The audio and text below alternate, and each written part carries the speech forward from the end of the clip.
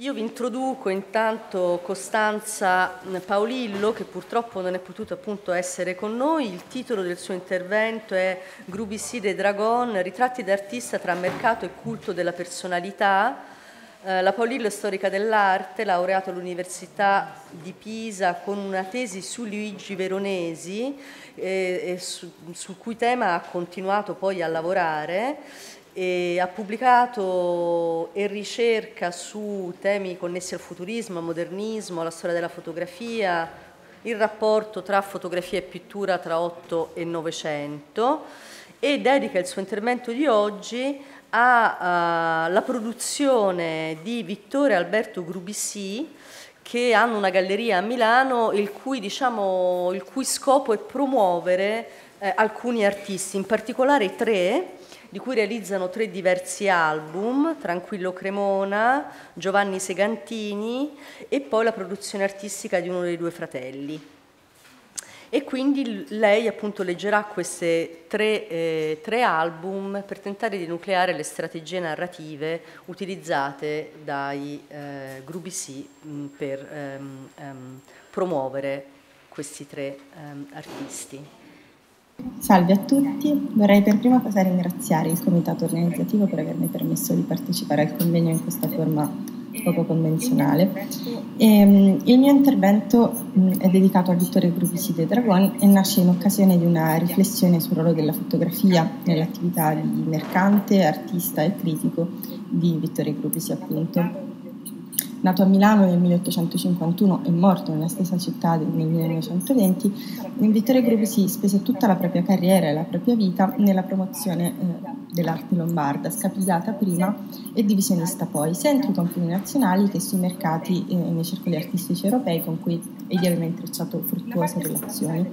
Una parte sostanziale del materiale fotografico di Vittorio Gruppi si è conservata presso l'Archivio del Novecento del Marto, il Museo di Arte Moderna e Contemporanea di Trento Rovereto, dove è custodito il fondo Grubisi Benvenuti, che contiene anche l'archivio e la biblioteca di Grubisi, insieme al vasto scambio epistolare con Benvenuto Benvenuti, che dà nome al fondo appunto, che fu allievo e custode della memoria di Grubisi, nonché suo erede universale, sebbene non vi fosse imparentato in alcun modo. Tra le carte, le lettere e le fotografie sciolte mh, mm, che sono qui conservate si trovano anche cinque album fotografici che possono essere assimilati mh, mm, tra loro per struttura. Sono volumi relegati in modo prezioso ed elegante, dedicati ciascuno ad un singolo artista. Essi contengono riproduzioni fotografiche o fotomeccaniche di dipinti e disegni e sono per lo più mh, mm, privi di note tipografiche. Il primo, uno di questi, il primo è dedicato a Giovanni Segantini ed è intitolato Brianza 1884. Due invece riguardano Tranquillo Cremona, mentre gli ultimi due sono dedicati allo stesso Vittorio Grubisi. A questi albi del Museo di Rovereto ne vanno aggiunti altri mh, che sono in diverse località. Una copia dell'album Segantini Brianza 1884 è conservato al Museo Segantini di St. Moritz, appunto mentre un'altra copia si trova eh, nella biblioteca dell'Accademia di Brera. Inoltre, mh, quest'ultima biblioteca e la Biblioteca Statale di Cremona conservano una copia ciascuno dell'album dedicato a Tranquillo Cremona. Questi volumi sono in buona parte noti agli studiosi e sono stati per lo più usati come documentazione per individuare gli interessi di gruppici. Um, in sostanza quindi abbiamo tre gruppi di albi fotografici dedicati a due dei più importanti artisti nella vita di Vittorio Grubisi, nonché de, un gruppo, l'ultimo, dedicato a Vittorio stesso. Sono stati realizzati con delle varianti nella rilegatura, nella selezione e nell'ordine delle immagini, cosa che ci impedisce di parlare di vere e proprie edizioni. Tuttavia la sostanziale omogeneità dei tre gruppi ci permette di pensare a questi albi come a un corpus disperso e in parte ritrovato. Valutando questi oggetti nel loro insieme, quindi, sono due le domande che mh, si pongono come più urgenti. La prima è qual è la loro origine, ovvero quale idea si cela dietro la loro realizzazione. La seconda invece è a quale scopo e con che funzione questi albi sono stati realizzati e questo mio intervento vorrebbe provare a rispondere o a proporre delle risposte. Per provare a rispondere a queste domande quindi è necessario tornare al profilo di Vittorio Grubici e al contesto della sua attività. Gli esordi della sua carriera sono poco chiari e si collocano a Londra, nel 1870, quando Grubi si lavorava appena ventenne come intermediario per un antiquario milanese, Pietro Nessi, che trattava principalmente artisti della generazione scapigliata come Tranquillo Cremona e Daniele Ranzoni. Un lavoro del genere all'estero diede la possibilità al giovane Vittore di scoprire un modo di trattare l'arte molto diverso da quanto facevano ancora gli antiquari italiani, più legati al modello erudito settecentesco. Nelle tre piazze più importanti d'Europa, ossia Londra, Parigi e l'Olanda tra Amsterdam e L'Aia, l'arte si commerciava con criteri moderni, sensibili agli interessi di un mercato composto principalmente dalla borghesia in ascesa, che cercava simboli della propria affermazione sociale da, es- da esibire nei salotti buoni. Un'impresa più di ogni altra era riuscita a plasmare il mercato europeo dell'arte contemporanea, ossia la Maison Goupil, la Maison Goupil fu fondata da Adolf Goupil e Henry, Henry Rittner, un editore tedesco con base a Dresda, nel 1829 a Parigi come casa editrice specializzata in stampe di interpretazione di maestri antichi e in stampe d'arte. Combinando un'eccellente organizzazione d'impresa con lo sviluppo di nuove tecniche economiche di stampa e riproduzione, tra cui la fotografia a partire dagli anni 50 dell'Ottocento, la Maison Goupil si trasforma in un vero colosso della diffusione delle immagini d'arte. Si consideri che intorno alla metà dell'Ottocento in Francia ci si riferiva con il termine goupillage o procedimento Goupil per indicare l'incisione a bulino, la più economica e la più rapida tra le tecniche di, riprodu- di riproduzione prefotografica. Il meccanismo della, nella Maison si basava sulla commercializzazione simultanea sia di dipinti che di riproduzioni.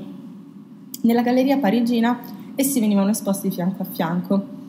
Venivano stipulati dei contratti con cui la Maison si garantiva l'esclusività dei diritti di riproduzione sulle opere, che venivano sempre comunque concessi insieme all'acquisto di un'opera, eh, in quanto considerati accessori alla stessa, e in molti casi essi riuscivano a fruttare decine di volte il prezzo dello, della vendita del quadro.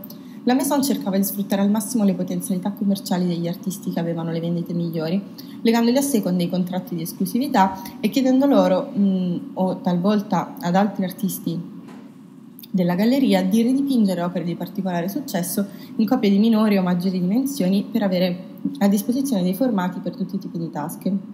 In questo senso le riproduzioni fotografiche e fotomeccaniche rappresentavano oggetti ideali per una borghesia di minori possibilità economiche, visto che tra l'altro la ditta riusciva di mettere sul mercato quantità considerevoli di produzioni a basso costo.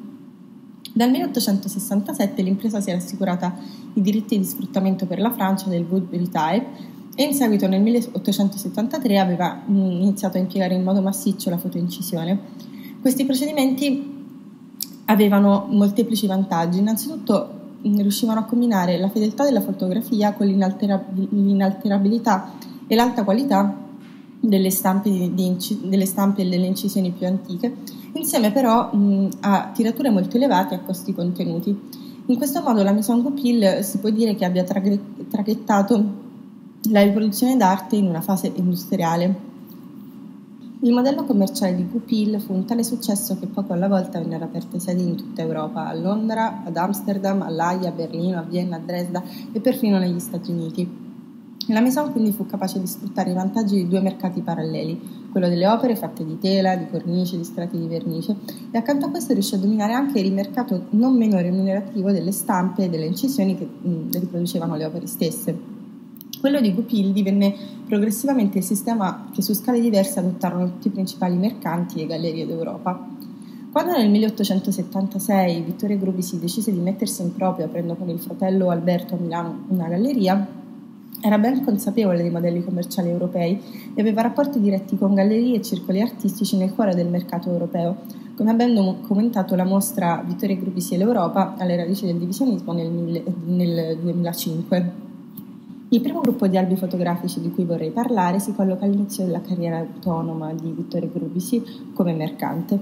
Si tratta degli albi dedicati a Tranquillo Cremona, uno dei maggiori esponenti della pittura scapigliata lombarda.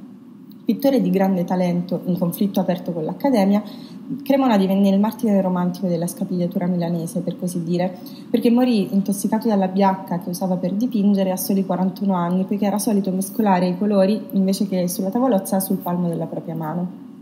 A 50 anni dalla morte di Cremona, Luca Bertra- Beltrami lo ricordava ancora come il campione, e cito Beltrami, di una scapigliatura che non aveva né pose né ruse della bohème, bensì la, spontane- la spontaneità di una sana ribellione a tutte le convenzionalità, a tutte le volgarità e deficienze di uomini e ostilità di istituzioni, per cui fra i soci onorari dell'Accademia, che ancora allievo aveva già onorato, il Cremona non fu ritenuto degno di essere iscritto, quando da dieci anni aveva dipinto il Marco Polo davanti al Gran Khan dei Tartari. Fine della citazione. Grupis e Cremona si conoscevano sin dal 1871, ossia dai tempi in cui Grupis si faceva da intermediario a Londra. Era stato proprio Grubisi che aveva spesso fatto acquisti di colori in Inghilterra per conto di Cremona e del resto Cremona era l'artista che meglio si vendeva, insieme a Daniele Ranzoni, sul mercato internazionale.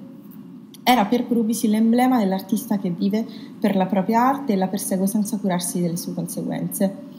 Nel 1920, in una lettera a Carlo Sacchi, pochi mesi prima di, morire, Vittore scriveva ancora, e cito Grubisi, Tranquillo Cremona è stato il culto di tutta la mia vita, al di sopra di ogni altro dei molti grandi artisti che ho conosciuto nei miei 15 anni in Europa e nella mia lunghissima successiva pratica dell'arte. Pensi infine che una larga serie di opere di Cremona da me posseduta, con la stessa insuperabile High Life, sono già in parte entrate e stanno per entrare al Castello Sforzesco per omaggio non solo gratuito, ma anonimo alla collettività. Il desiderio di un pubblico riconoscimento al valore di questo grande pittore fu una costante nella vita di Grupisi. Infatti, subito dopo la sua morte nel 1878, Vittore si impegnò intensamente per realizzare una mostra commemorativa dell'artista, raccogliendo opere dalle collezioni private e cercando il supporto dell'Accademia di Brera con l'aiuto di Primo Levi e Luca Beltrami. L'Accademia però pose un rifiuto all'ultimo minuto, costringendo i teleorganizzatori a smuovere le loro conoscenze politiche e artistiche. Alla fine la mostra si tenne a ridotto del Teatro della Scala, con la collaborazione del milieu artistico milanese in protesta contro l'ostruzionismo accademico.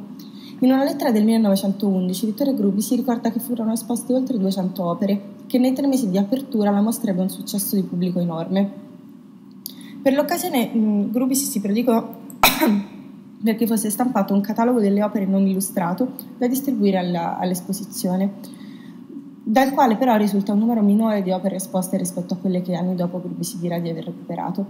Ma con un buon margine di certezza possiamo dire che risale a questa occasione la realizzazione anche degli albi fotografici Tranquillo Cremona. Tre di questi album, i due di Rovereto e quello di Brera, sono rilegati in modo simile. Si tratta di volumi in formato verticale che misurano circa 20 x 32 cm, sono rilegati in tela con applicazioni floreali in metallo brunito sia sulla costa che sul piatto dove è anche presente il monogramma TC le copie contengono circa 75 riproduzioni di opere di Cremona, dipinti, disegni, acquerelli, con una selezione che varia leggermente a seconda della copia e alcune note stampate eh, nella versione di Brera. Si evince da alcuni appunti manoscritti di Grubisi che l'ideazione della rilegatura si deve a Luigi Conconi, un artista milanese originalissimo in odore di bohème, con interessi esotici ed un ingegno multiforme che spaziava dalla pittura all'architettura.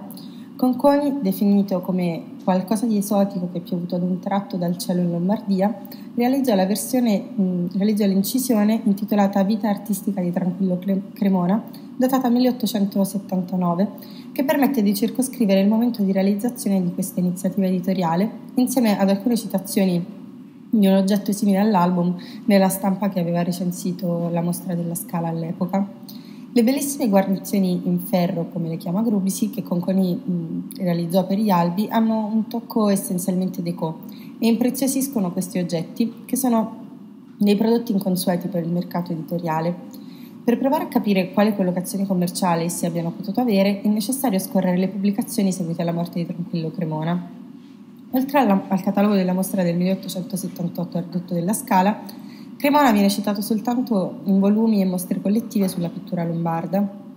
Si deve aspettare il 1899 per avere una monografia illustrata di, Giulio, di Giulio Pisa dedicata esclusivamente all'artista Cremona, appunto. L'album di Grubisi quindi colma una laguna editoriale aprendosi una nicchia tra i libri d'arte e il commercio delle riproduzioni delle opere. Mettendo insieme fotografie di decine di opere, del maestro tanto amato in una cornice così preziosa in un certo senso anticipa i coffee table books, ossia libri d'arte da esposizione. Lascia che le immagini esprimano le capacità dell'artista e la sua innovatività, mentre affida alle riproduzioni il compito di diffondere e tramandare la memoria della potenza dell'arte di Cremona, appunto. E non sembra che in letteratura possano riscontrarsi molte altre attestazioni di oggetti di questo tipo. In qualche occasione si è pensato a questi albi come a cataloghi ragionati, ma questa definizione sembra eccessiva perché scorrendo la selezione delle opere sembra che queste siano soprattutto prese tra le proprietà di Grubisi o di persone amiche. Non mancano i pezzi fondamentali come l'Edera o Marco Polo davanti, davanti al Gran Khan dei Tartari, ma non c'è nessun ordine cronologico o presunzione di esaustività nella selezione delle immagini. Sono presentate quasi tutte le tecniche con cui Cremona si era espresso, ma sembra piuttosto che ordinare le opere sia un criterio visivo. Le immagini sono accostate una dopo l'altra per similitudine delle pose oppure del tema rappresentato. L'album conservato alla Biblioteca di Cremona, arrivato in deposito con il fondo del pittore cremonese Antonio Rizzi, già allievo di Brera, rispetta questi criteri, ma si distingue perché le fotografie sono contenute in un album di un altro formato e di tutt'altra rilegatura. Non possiamo dire se si tratti di una risistemazione dovuta per esempio al deterioramento della legatura originale o se si tratti di una vera e propria riedizione, anche perché mh, si, si, deve considerare il fatto che nel fondo Grubisi del Marte è conservata una ricevuta di vendita di un album Cremona del 1910. Con la stessa incisione e ritratto di Cremona ad opera di Conconi con cui si apre l'album di Brera, Grubi si realizzò una cosa ben, ben più curiosa. Si tratta di un reliquiario che comprendeva appunto l'incisione dei fiori secchi, un piccolo disegno di Cremona e alcuni capelli presi dalla salma. La cosa più particolare è che Grubi si fece prima fotografare questo accrochage, dopodiché ne fece stampare numerose cartoline sul cui fronte è descritto e spiegato il contenuto dell'immagine, con tanto di titolo reliquiario. Un'invenzione del genere conferma l'idea che Grubisi avesse una precisa strategia commemorativa, nella quale l'immagine fotografica e la riproduzione avevano un ruolo essenziale in quanto veicoli di notorietà. Come reliquiario, quindi, anche gli albi sono oggetti evocativi, in grado di garantire continuità alla memoria di Cremona e di costituire un tributo al culto dell'artista morto. Poco dopo la morte di Cremona, Grubi si mise in atto le proprie strategie di espansione commerciale, tornando a coltivare il campo delle relazioni europee. Nel 1880 infatti si trasferì in Olanda, dove faceva base per recarsi spesso in Inghilterra e tornare di frequente a Milano. Intanto, assecondando quel che riteneva il proprio infallibile fiuto, aveva messo sotto contratto di entrenage vari artisti, il più importante dei quali era il pittore trentino Giovanni Segantini. In sostanza questo contratto prevedeva di stipendiare il pittore ancora poco noto in cambio di un rapporto di esclusività. Questa prassi, sempre messa a punto dalla Maison Goupil, costituiva un grande investimento per una galleria piccola come quella di Grubisi e non mancò di innescare tensioni tra i fratelli che avrebbero poi portato ad una rottura insanabile. L'idea di Vittore era quella di allevare giovani talentuosi artisti, promuovendoli a livello europeo fin tanto che essi poi avrebbero venduto tanto da ripagare il rischio di impresa iniziale. Nel caso di Segantini, artista di punta della sua scuderia, come amava definirla Vittore, qualche risultato arrivò dall'estero con due, medaglie, con due medaglie d'oro, ottenute all'Esposizione internazionale di Amsterdam nel 1883 e poi ad Anversa nel 1886. Gli albi del secondo gruppo si collocano proprio in questo periodo. Nel caso di questi albi, le versioni differiscono per quantità di immagini contenute e per rilegatura, ma la caratteristica comune più interessante è il piatto della copertina. Si tratta di un rilievo in stucco policromo e bronzato, con buona probabilità eseguito a impronta, su cui è graffita la scritta Segantini Brianza 1884, all'interno del quale sono raccolte riproduzioni fotomeccaniche dei dipinti realizzati da Segantini in Brianza fino a quel momento. L'album di Brera si presenta come una cartella contenente 21 tavole, mentre l'esemplare di, Lo- di Rovereto contiene 70 foto riadattate. L'anno sulla copertina ci fornisce delle indicazioni sulla data di realizzazione perché, come nel caso precedente, le tracce documentali sono invece molto scarse. Il 1884 fu un anno particolarmente importante per Segantini perché si concludeva il sodalizio con il pittore Longoni, Emilio Longoni, con cui aveva condiviso dimora e lavoro in Brianza dal 1882 nella zona di Pusiano. D'altra parte, quel momento seguiva il primo vero riconoscimento delle capacità di Segantini, sul quale Vittorio aveva investito non appena um, uscito da Brera. Per Grubis era, necess- era necessario quindi impegnarsi ancora di più nella promozione del pittore, per dimostrare soprattutto al fratello che sopportava la pressione economica dell'operazione che il criterio su cui si basava la loro attività di mercanti non fosse sbagliato, ovvero, e cito una lettera di Grubisi al fratello, di Vittorio al fratello Alberto, che il commercio artistico si basa sulla personalità, e non più sulla compravendita di quadri più o meno buoni. Con Brianza 1884 l'idea dell'album Cremona si evolve in senso di ancora maggiore pregio. Ogni copia è una preziosa appariscente opera d'arte. La scelta di impiegare stampe fotomeccaniche è certamente legata al bisogno di garantire la massima qualità e fedeltà cromatica delle riproduzioni, una preoccupazione costante per Segantini.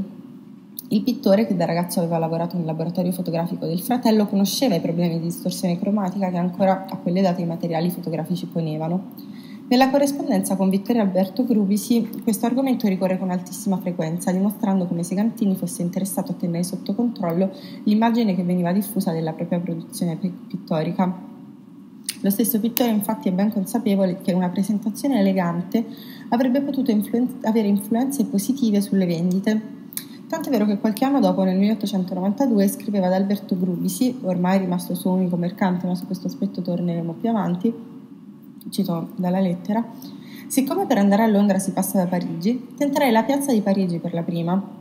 Io terrei con me, in una busta di pelle fatta con molta serietà e giudizio, tutte le fotografie dei quadri che intendi esporre ed offrire, così pure dei pastelli e disegni. Anche se si presentasse un doppio nella cartella di pelle che parlai sopra, io farei una divisione onde tenere sempre separate le fotografie dei quadri da quelle dei pastelli.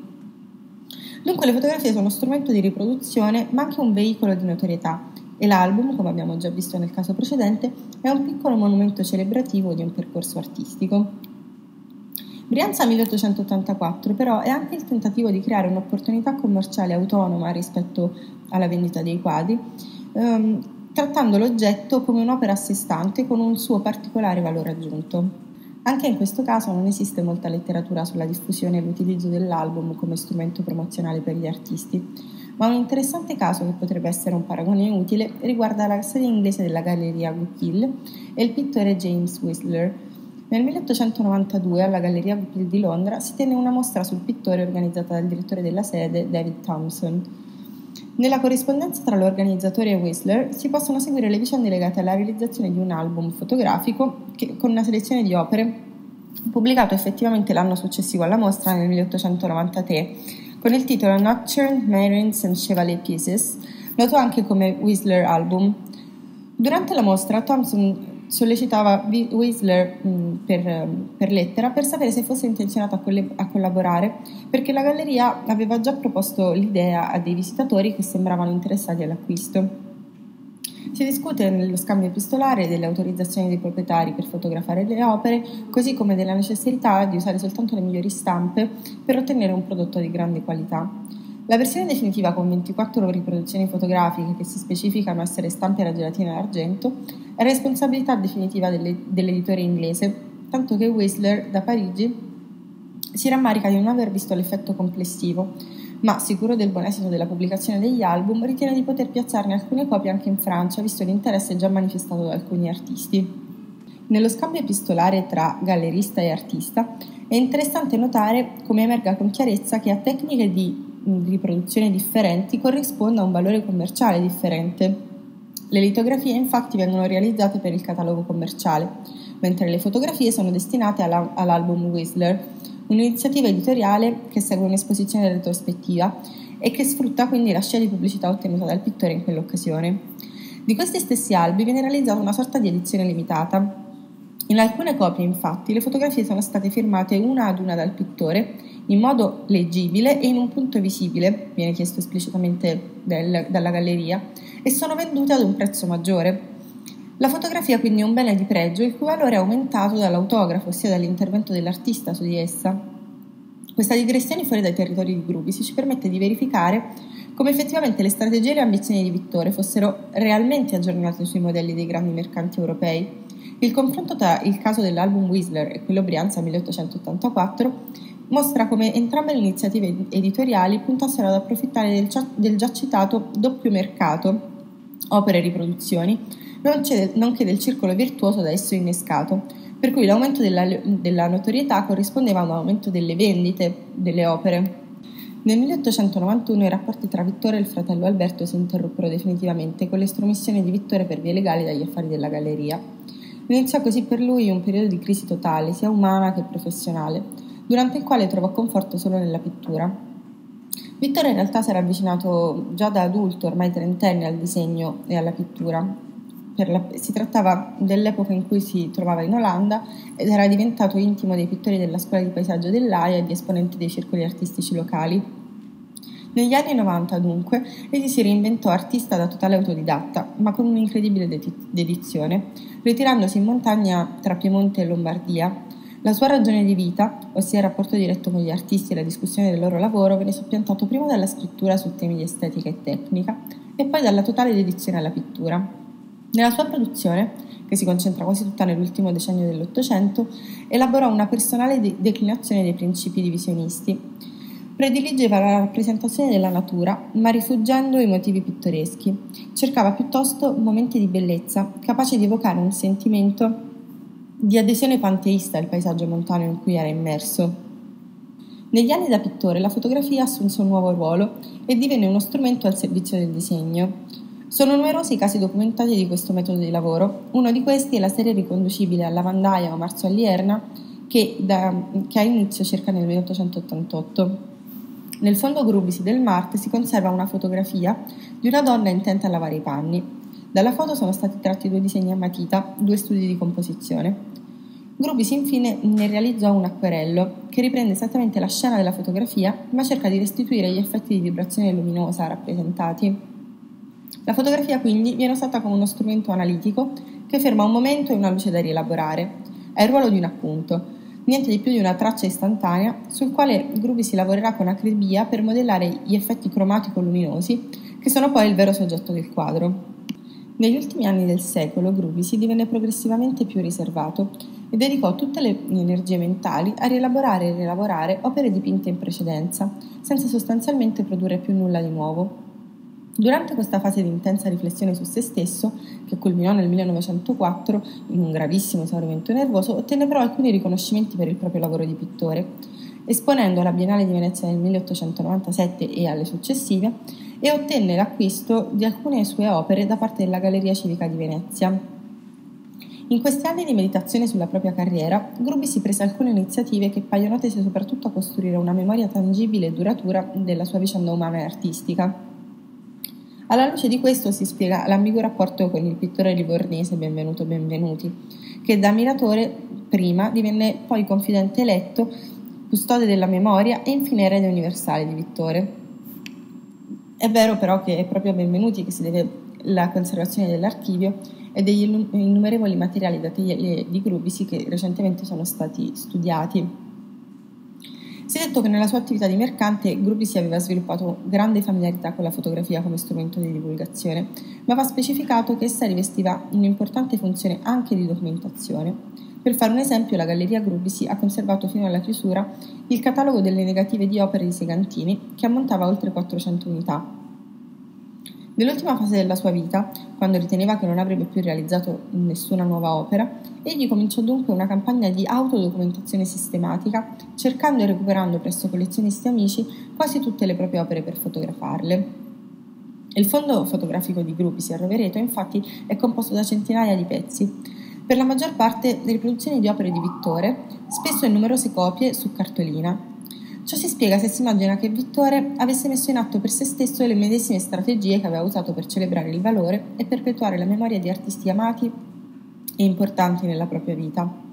A partire dal 1910 le opere furono fotografate sistematicamente da professionisti. La maggior parte delle riprese furono realizzate da Rodolfo Zanini a Milano, ma compaiono anche i nomi di fotografi veneziani che avevano effettuato riprese durante le biennali, così come raramente si trovano i nomi di alcuni studi fiorentini o torinesi. Non sembra scorretto quindi collocare in questo periodo il terzo e ultimo gruppo di albi fotografici, quelli custoditi a Rovereto, dedicati a Grubisi in persona. Si tratta di due volumi molto diversi tra loro. La prima copia è realizzata con un semplice album di cartoncino nero da disegno, con pagine pressappoco in formato A3. Si presenta in condizioni di conservazione drammatiche che ne rendono quasi impossibile la consultazione e si compone di 127 pagine numerate su cui sono riprodotte 170 opere. L'album, mm, cosa molto interessante, è accompagnato da un dettagliato elenco manoscritto, che sembra una bozza una copia di lavoro, con ogni probabilità di pugno di Vittore.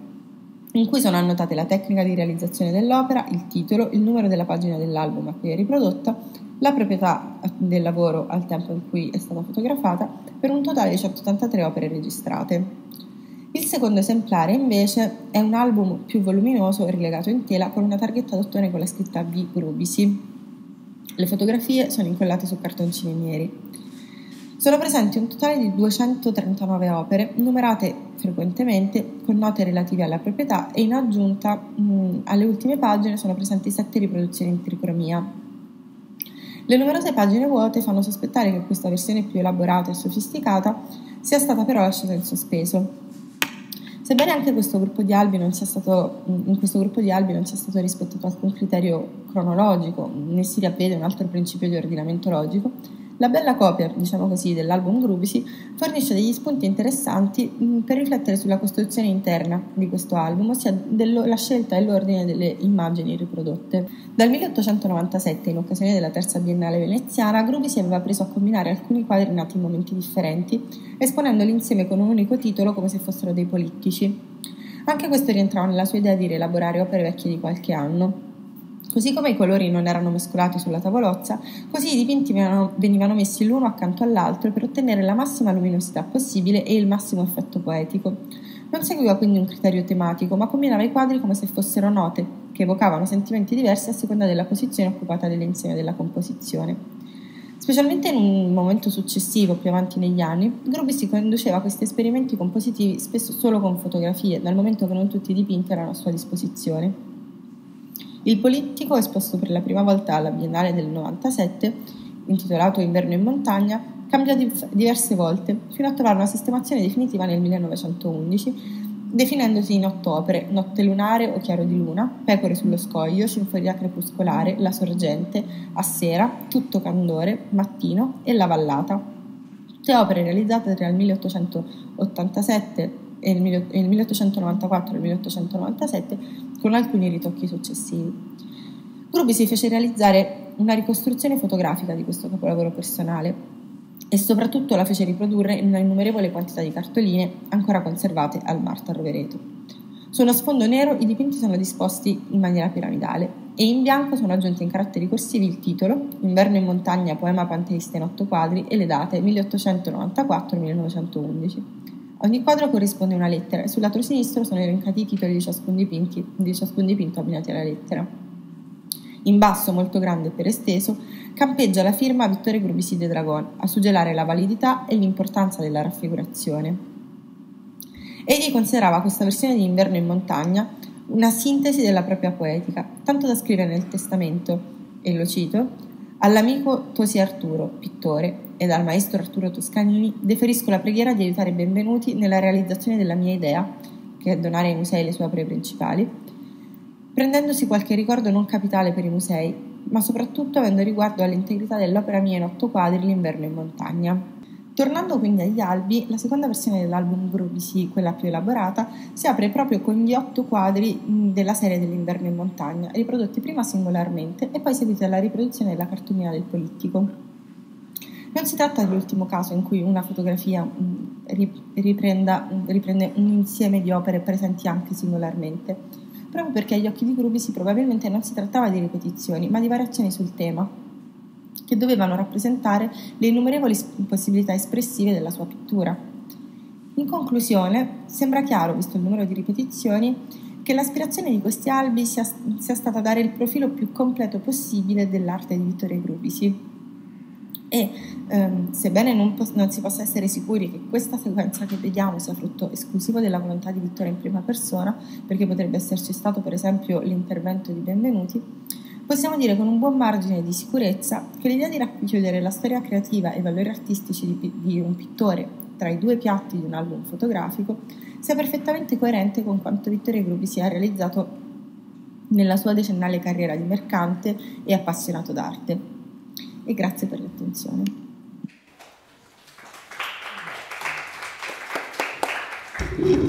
Grazie molte per essere stati con noi, diciamo l'audio non era eh, dei migliori, eh, forse la prossima volta faremo delle prove prima, ma abbiamo ricevuto questo file solo stamane, cioè praticamente poche ore fa quindi non siamo stati nemmeno troppo in grado, però mi sembrava che da lì si sentisse meglio che da qui, quindi insomma spero che...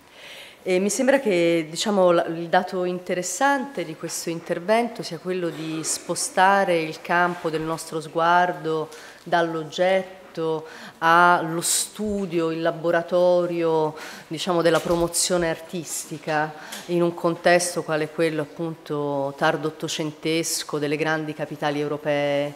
E quindi diciamo, questo respiro che anche questo eh, strumento che finora abbiamo visto ancorato più alla riproduzione fotografica di particolari ambienti familiari o eh, diciamo istituzionali ha avuto avendo raggiunto appunto questa propulsione che è quello della diffusione su larga scala delle opere eh, di singoli artisti, cioè delle piccole monografie in fondo si, si presentano come tali. Non so se c'è qualcuno che su questo tema voglia aggiungere qualcosa, eh, sottolineare questioni. Ecco, non tanto sull'artista, ma sul manufatto. Vabbè, Berno Serena, Archivio Storico Intesa San Paolo. Volevo porre alla platea eh, questa domanda proprio un po' perché eh, questa osservazione dell'oggetto fotografico eh, della dottoressa Paolillo mi ha un po' ispirato e è un ambito di ricerca che sto cercando di approfondire. Se qualcuno di voi ha eh, fatto studi o ha presente appunto approfondimenti sui realizzatori degli album, ossia su chi proprio ehm, eh, faceva la, la, rilegatura, decorava anche le copertine, perché eh, nell'Ottocento spesso ci siamo trovati questi album bellissimi, cioè la copertina era più bella forse del contenuto in alcuni casi, oppure anche casi di riutilizzo di un album nato probabilmente per altre finalità, finalità mh, mm, presupponiamo per eh, lettere, quindi con delle tasche orizzontali, utilizzato poi per inserire carte visite, formato margherita e varie. Eh, volevo sapere appunto se c'erano stati studi sui realizzatori, sulle mode anche dell'epoca, perché appunto questi oggetti li troviamo soprattutto nell'Ottocento inizi Novecento e poi vediamo quasi una, un disuso, una decadenza di questi oggetti così pregiati. E negli anni 30, come ha mostrato la stessa Paolillo, anche noi abbiamo uh, questi album con questi cartoncini molto acidi che si strappano solo a vederli, verdi o marroni, che, eh, dove lì diventa quasi più importante ecco, l'accostamento delle immagini, eh, non tanto quanto la sua facciata esteriore. E niente, spero che qualcuno possa rispondermi. Grazie. Per la mia esperienza invito diciamo, il resto dei relatori, ma non soltanto a intervenire, nell'album che citavo stamane eh, ho avuto la sensazione eh, che fosse proprio di eh, manifattura singola, cioè che fosse commissionato dalla famiglia, dalla nobildonna a chissà chi, infatti, a un rilegatore, a una persona che lavorava la carta, esattamente nelle dimensioni che voleva lei, cioè che non fosse un prodotto standardizzato, ma parliamo di una cosa eh, 1880-1890, ecco. Nicola, ci chiedevamo se tu avevi avuto delle impressioni circa la manifattura degli album che hai potuto visionare, cioè se hai rintracciato una continuità o delle timbrature che ci possono dire che effettivamente c'erano dei produttori proprio di quella cosa lì, cioè della copertina, degli album fotografici, eh, o se invece eh, questa cosa non, non, ha, no, non è emersa come delle costanti per cui si sia possibile attribuire diciamo, a determinati settori imprenditoriali eh, la fattura di questi album, delle ricorrenze. No, volevo dire, credo di sì perché alcune cose non sono, eh, non, non, non, sanno troppo di arti, artigianalità, cioè sono troppo, per esempio ci sono dei lavori tessili molto con delle anche iscrizioni testuali e, che, sono, che, si vede che sono tessute come, come, dei tappeti, che sono allo stesso livello, ci sono dei lavori eh, per esempio con i velluti che, sono, che non sembrano ecco, ecco, essere dei, dei, lavori domestici o, o dei lavori E poi ci sono per esempio anche degli intarsi di legno che non mi sembrano delle cose troppo facili da realizzare. Però ti sono apparsi come, cioè in, questo diciamo grande 550, diceva stamane Laura Mauro, forse anche di più, no, non vi è uniformità, no? sono tutti un po' diversi. Sì, sì. Forse la cosa più simile sono gli album uh, Morpurgo, sì, sì. che immaginiamo fatti forse da lui, almeno alcuni, no? per tenere dentro i propri materiali come se fossero Che quelli lì somigliano anche un po', quelli lì, quelli lì somigliano anche un po' a, a, a dei lavori più di legatoria, mm. eh, saggistica anche, sono, mm. hanno anche delle strutture anche il disegno delle coste, l'iscrizione dei titoli, invece altri hanno anche dei, dei lavori più eh, che sono anche, per esempio ce n'è uno di velluto eh, rosso che è diventato quasi rosa con un'iscrizione bianca molto morbido che sembra quasi una cosa eh, pop di adesso. Quindi non so se qualcun altro ha delle notizie su questo. Professoressa, prego. Grazie, sono Marisa Dalai. Eh, ho studiato molto il divisionismo e quindi ero particolarmente interessata a questa relazione. Mi spiace che sia stata trasmessa un po' così a singhiozzo e eh, letta anche con una velocità supersonica, per cui era molto difficile riuscire bene a, a, a catturare i messaggi. Allora, ho avuto l'impressione, guardando peraltro le poche immagini di album che poi sono state eh, messe a corredo del, del testo, che eh, la copertina del primo album dedicato a Segantini, quello dell'84, fosse direi quasi sicuramente eh, del designer Bugatti perché era molto molto raffinata, in cuoio, eh, con delle impressioni e eh, con una, eh, dire, um, un sistema ornamentale che è tipico dei Bugatti, dei fratelli Bugatti, che poi disegneranno la prima fuoriserie, no? la famosa automobile Bugatti, nei, nei primi anni del Novecento. La famiglia Bugatti era legatissima d'amicizia a Segantini, quindi mi sembra probabile che la copertina di questo album eh, si debba attribuire a loro. Bisognerebbe studiarla meglio, vederla da vicino, ma mm, ho dei fondati dubbi che si tratti proprio di un manufatto eh, realizzato da, da, uno dei Bugatti. Ecco, questo volevo dire.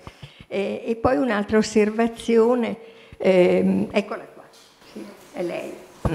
E sembra cuoio e bronzo forse anche, c'è, so- c'è, un elemento circolare che potrebbe essere bronzo. Ecco, anche l'uso di questi materiali è tipico dei Bugatti. E, ehm, e poi ecco un'altra osservazione volevo fare. Eh, non si è capito bene dalla, da questa lettura, ma forse non ho capito bene io, ehm, quali fossero queste tecniche di riproduzione utilizzate. Cioè, mi sembra a un certo abbia... punto si è ah. parlato di fotoincisioni. Sì. Mm. Le fotoincisioni in Italia eh, si fanno a partire, mi sembra, dal 1883, non, non prima. E, ehm, e, poi a un certo punto anche ho colto mm. il termine tricromie. Allora, questa è una cosa molto interessante, se si tratta veramente di tricromie però a proposito dell'album di, ehm, di Vittore, del, cioè de, dell'ultimo album di cui si è detto nella relazione, eh, che forse è un pochino più tardo degli altri, mi sembra di ricordare che è del 1910. Allora sarebbe molto interessante capire in quel momento che uso si facesse delle tricromie. Non, non credo che fosse molto diffuso, anche perché era um, molto costoso rispetto alle fotoincisioni. Mm. Ecco, due schegge di osservazione. Grazie mille. Eh, bene, per, per la um, così, um, individuazione della manifattura del primo eh, e quindi diciamo così di, aver ristretto ulteriormente il circuito nel quale si muoveva l'artista e De Grubissy. Per quanto riguarda la seconda osservazione, effettivamente diciamo anche io avevo colto eh, il riferimento alla tecnica alla prima e quella alla seconda invece mi era addirittura sfuggita.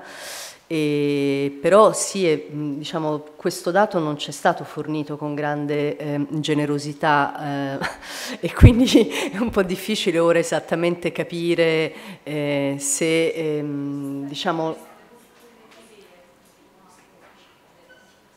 ha fatto riferimento diciamo siamo, siamo, veramente in un territorio ormai così, ognuno ha ascoltato qualcosa, non sono, sì comunque sarebbero tutte questioni molto interessanti chiaramente essendo poi il tema un po' del nostro incontro ehm, fotografico cioè grafico e fotografico, quindi diciamo così, la, la, diciamo, avere degli elementi un po' più dettagliati sulle tecniche di riproduzione di questo album avrebbe aiutato parecchio. Ecco.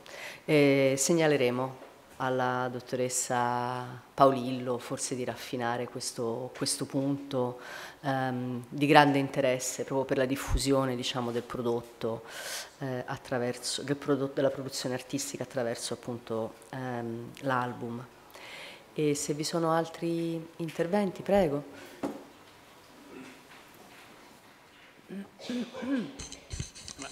Su questa questione della produzione degli album, ehm, quella domanda che era stata posta così, ma io credo che una fonte eh, estremamente ricca di informazione siano gli annuari che vengono prodotti, cioè che raccolgono le, le indicazioni sulle attività fotografiche, queste cose, addirittura gli annuari commerciali, più di tipo generale, cioè delle città.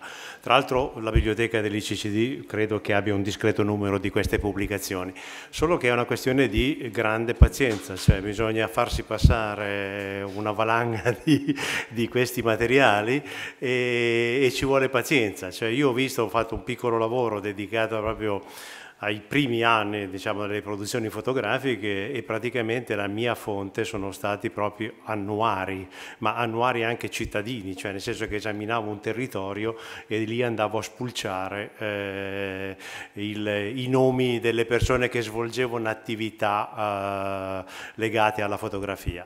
Eh, è interessante che gli annuari normalmente raccolgono anche delle forme di pubblicità, per cui nelle forme di pubblicità si danno delle indicazioni precise eh, e spesso e volentieri si trovano che i grossi studi pubblicizzano la disponibilità di album per raccogliere i materiali, il che significa che loro attingevano o a qualche piccolo produttore o comunque a produzioni più nobili, cioè dico più articolate, tipo quelle che venivano indicate prima. C'è un fatto reale che moltissimi album eh, dell'Ottocento, di quelli che io ho consultato, sono e le copertine sono fortemente personalizzate, il che significa che chi acquistava quell'album o faceva fare ex novo un intervento, uh, di, cioè nel senso che magari eh, c'è l'inserimento di qualche placca con l'indicazione, con le cifre dei proprietari e di queste cose. E quindi o questo veniva fatto realizzare specificamente da, uh, eh, su un album che era stato acquistato oppure che si commissionava ad un legatore, una persona che lavorava sul cuoio, queste cose, questo tipo di, eh, questo tipo di produzione, cosa che mi sembra in certi casi forse anche la più probabile rispetto proprio magari a un certo tipo di, un certo tipo di produzioni. Non ultimo tra le fonti ci sono un po' le grosse esposizioni, cioè se non ricordo male, tipo tra, eh, facendo passare i materiali dell'esposizione del 6 a Milano, nella presentazione delle diverse attività, le arti minori e queste cose, ogni tanto si trova la ditta commerciale, l'indicazione del, del produttore commerciale che presentava una serie di prodotti che erano spesso legati a queste cose, cioè eh, tipo proprio album, materiali per la raccolta di cose. È un lavoro che eh, non è mai stato fatto, cioè almeno a me non risulta, che sarebbe estremamente eh, interessante eh, da a farsi, cioè nel senso di incominciare a raccogliere almeno queste informazioni e, eh, e costruire una sorta di piccola banca dati, incrociando poi esperienze molto diverse. Non è l'unico aspetto della fotografia che eh, andrebbe indagato in questo senso, butto lì non c'entra con i discorsi che stiamo facendo in, questo, in questi giorni, ma c'è tutto un discorso sui fondali. Nessuno ha mai affrontato, che io sappia, cioè gli unici che hanno affrontato un po' seriamente i fondali è stata una mostra fatta da Atene, ma ormai vent'anni fa, dedicata alla produzione di alcuni fotografi locali. Ecco.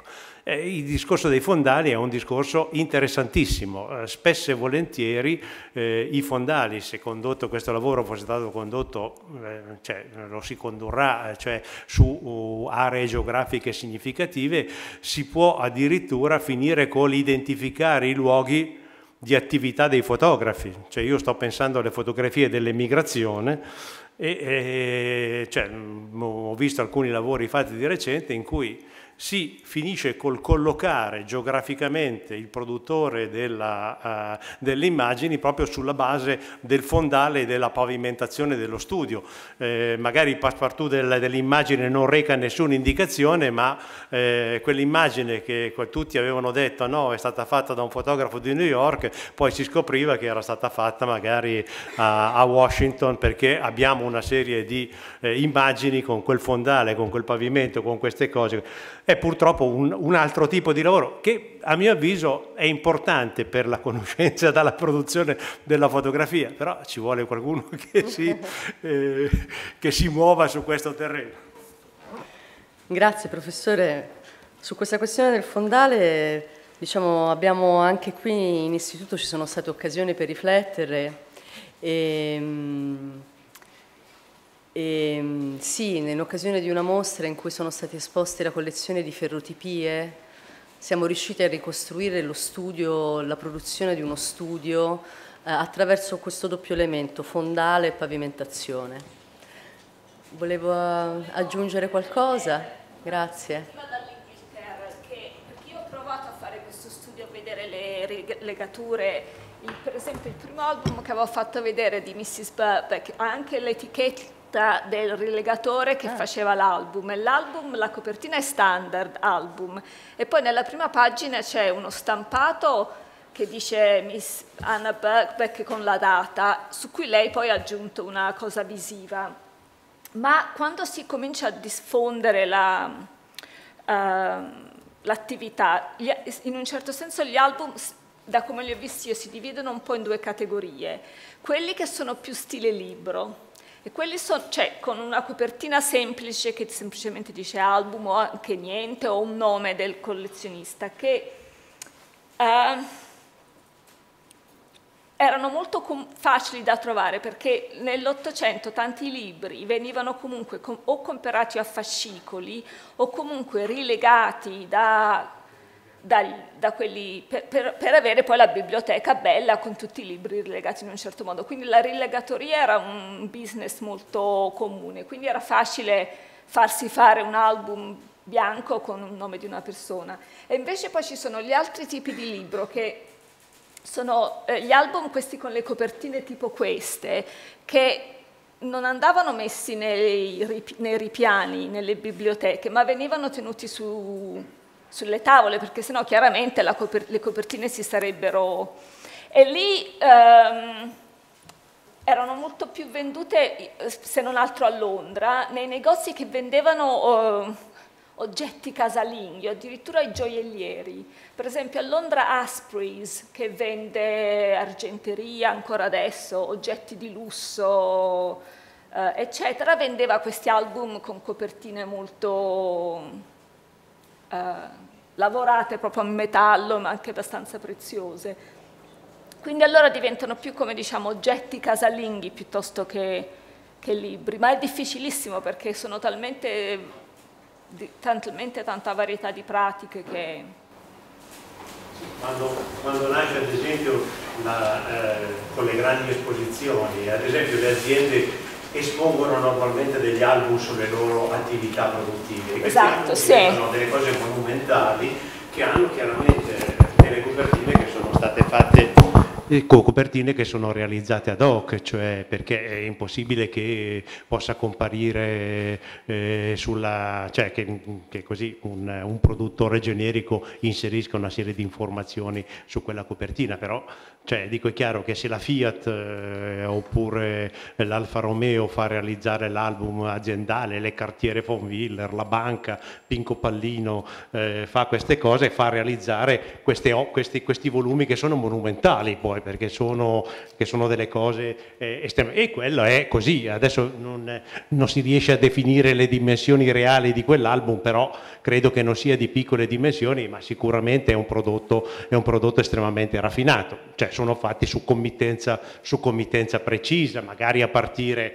da, uh, da, un qualche cosa che era elaborato, però parzialmente, cioè, eh, credo che questo sia, sia, sia inevitabile. E, è, eh, è, un modo così, cioè, proprio, mm, cioè, si tratterebbe di studiare proprio anche questo genere di confezioni, ripeto, cioè, a mio avviso sarebbe, sarebbe molto, eh, molto, interessante farlo. E tra l'altro un qualche cosa che viene avanti molto nel tempo, eh, perché eh, adesso mi ritornava parlando di queste cose, cioè, mi, mm, mi ritornava un po' le cose che si diceva, la, che è stata detta stamattina la relazione di Day, cioè dico degli album, così. Beh, io ricordo che ad esempio negli anni, negli anni 30 eh, in Italia, eh, cioè a me è capitato, ho studiato parecchio dei materiali, quindi anche degli album che si riferivano alla documentazione della guerra 35-36 in Colonia, cioè, c'è un numero elevatissimo di persone che si fanno gli album con la stoffa della divisa, cioè la copertina viene utilizzata per, eh, per, per, per, gestire la confezione esterna, addirittura nell'album si inserivano degli elementi di oggetti veri e propri, cioè il, le mostrine, le, le cose, cioè nel senso che veniva articolato il, il, il piccolo ramoscello raccolto del, dell'albero esotico inserito nell'album, così in questa miscellanea di materiali, le fotografie, queste cose, immagini ritagliate da libri. Ne ricordo uno che questo lavorava per le officine grafiche di Agostini, che si è fatto tutta la sua celebrazione di partecipazione alla guerra d'Etiopia e ci ha inserito poi delle bellissime tavole che il De Agostini aveva prodotto per su una committenza ministeriale del mega volume di, rappresentanza sulle colonie, lui si era ritagliato eh, gli acquerelli con gli ascari, con, con, queste cose, i paesaggi esotici e ci aveva fatto queste, queste costruzioni cioè, molto, molto articolate, cioè diventa proprio un, una, un, un qualche cosa veramente molto...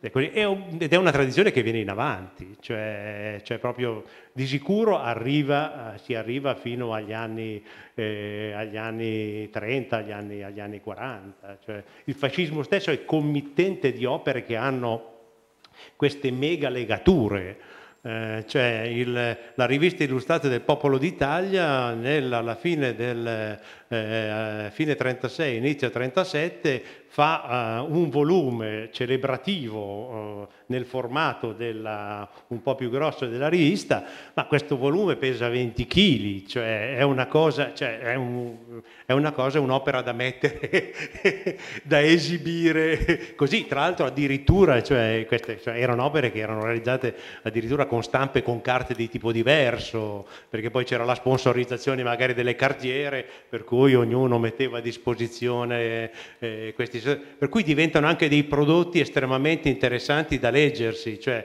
nel senso che questi sono album a stampa, perché chiaramente erano dei prodotti, dei prodotti a, stampa, a, stampa, tipografica tradizionale che però hanno una, cioè, un po' queste cose, cioè si gioca un po' a fare le operazioni futuristiche alla De Pero, queste cose qui, di cui di creare questi, questi prodotti curiosissimi, insomma, cioè, le cose sono veramente moltissime.